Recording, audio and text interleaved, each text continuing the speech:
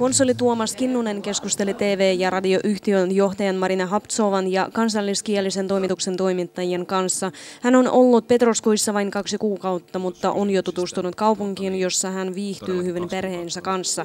Saavuttuaan Karjalaan konsoli aloitti aktiivisen toiminnan. Kaupungin kulttuurikohteista tulivat tutuksi jo kansallinen teatteri ja kansallismuseo oppilaitoksista yliopisto. Suunnitelmissa on laajamittainen tutustuminen Petroskoihin ja Karjalan eri piireihin. Tapaamisessa oli nostettu esille viisumikysymys, joka kiinnostaa monia Karjalan asukkaita.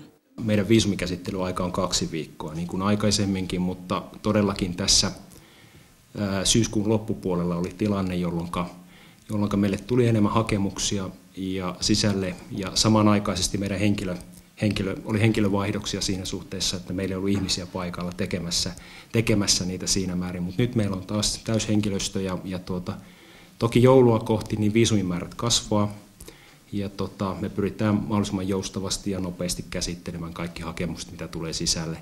Tuomas Kinnunen on jo tutustunut muun muassa paikallisiin suomenkielisiin ja toteaa heidän kielitasonsa hyväksi. Hänestä on myös mukavaa, että täällä voi katsoa uutisia äidinkielellään. Tuomas Kinnunen sanoi olevansa valmis yhteistyöhön paikallisen median kanssa.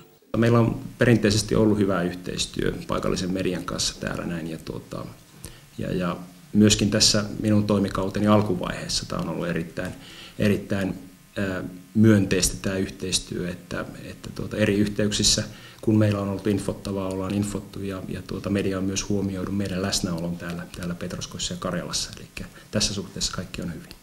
Oli käsitelty muitakin kysymyksiä. Näin konsolin mukaan kahden vuoden tauon jälkeen suomalainen elokuvafestivaali saa jatkoa Petroskuissa. Avajaiset suunnitellaan joulukuun seitsemänneksi päiväksi. Юлия Петунова, Игорь Истратьев, Вештит, Карьела Петрускуэшста.